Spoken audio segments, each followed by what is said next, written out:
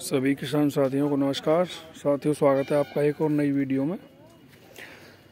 साथियों, आपको एक जानकारी देंगे कि जो ट्रैक्टर है हमारा फार्म टेक साठ ई पावर मैक्स मॉडल में, इसकी तीन महीने पहले ये वाली पाइप फटी थी।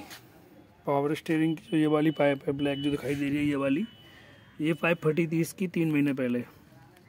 जब धान की पडलिंग का समय चल रहा था, पडलिंग में फटी थी तो हमने एजेंसी से ला के डाल दी थी। अब इसकी जो पावर स्टीयरिंग की जो मेन पाइप है ये वाली, यहाँ से ये, अब ये यहाँ से क्रैक हो गई है। ये बहुत, एक एक बूंद यहाँ से बहुत बारीक सुराख हो गया है इसमें। एक एक बूंद टपकती है। ये इसमें बहुत बड़ा भी नहीं है, बहुत छोटा भी फॉल्ट नहीं है। ये ना बहुत बहुत ज़्यादा वाइब्रेट करती है ये वाली जो पाइप है, इसकी जो मेन पाइप है, ये बहुत ही ज़्यादा वाइब्रेट करती है। ये सबसे बड़ी दिक्कत है इसके अंदर। और एक मेरे मित्र हैं, रामपुर के, उनके पास भी ये सेम मॉडल है। उनकी भी ये साथ ये इशू हो चुका है। पहले ये वाली पाइप फटी थी, अब ये वाली पाइप फट गई है यहाँ से बहुत हल्का सा क्रैक हुआ है, बहुत हल्का सा। देखेंगे तो आप देखेगा नहीं, लेकिन एक एक बूंद इसमें से रिश्ता है। जो पावर स्टीयरिंग ऑयल है एक एक बूंद रिश्ता है इसमें से। और एक क्लिच की प्रॉब्लम इसमें रहती है। क्लिच इसकी बहुत हार्ड हो जाती है। बाकी ताकत के मामले में ट्रैक्टर अच्छा है।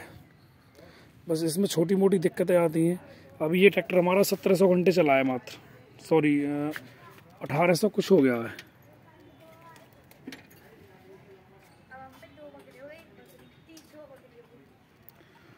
अठारह सौ बारह घंटे चला है।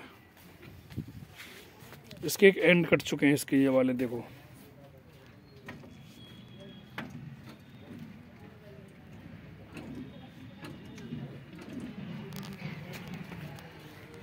स्टीयरिंग सिस्टम इसका कुछ ज़्यादा सक्सेस नहीं लगा हमें। सत्रह सौ घंटे चलने पर इसमें कई सारी दिक्कतें आ गई हैं। सबसे ज़्यादा प्रॉब्लम इसमें स्टीयरिंग में ही आई हैं। एंड कट गए।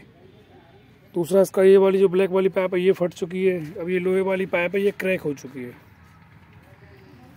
अब मार्केट में मिल नहीं रही है, फ़िलहाल इसको हम गैस वेल्डिंग से काम चलाएँगे। गैस वेल्डिंग कराएँगे इस पर उससे काम चलाएँगे, जब एजेंसी की तरफ़ चक्कर लगेगा, तब ला के इसको डालेंगे। ठीक है, सभी किसान साथियों को नमस्कार।